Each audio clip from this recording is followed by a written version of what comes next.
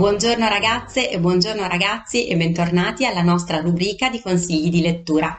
Il romanzo di cui vi parlo oggi potrebbe essere collocato in una bibliografia dedicata ai segreti della natura, ma è anche un libro molto particolare che sfugge un po' ai generi e ora vi spiego perché. Intanto il romanzo di cui parliamo oggi si intitola L'albero delle bugie. È un romanzo ambientato nell'Inghilterra vittoriana, ha dunque un'ambientazione realistica e storica, ma è anche un romanzo fantastico, pieno di mistero e di tensione. La protagonista di questa storia è una giovane donna privilegiata dell'Inghilterra vittoriana che dovrebbe essere educata a tutte le arti che si presume siano adatte alle signorine di buona famiglia per quell'epoca.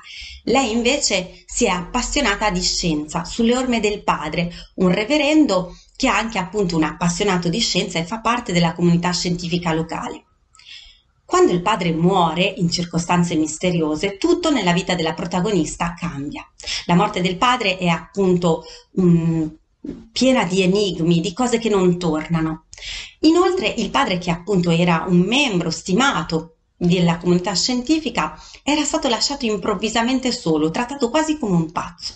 La ragazza scopre così che il padre aveva trovato una pianta misteriosa, una pianta magica, l'albero delle bugie, appunto. Un albero capace di nutrirsi di bugie umane e di dare poi frutti magici che rivelano segreti. Io spero che questa storia vi abbia incuriosito.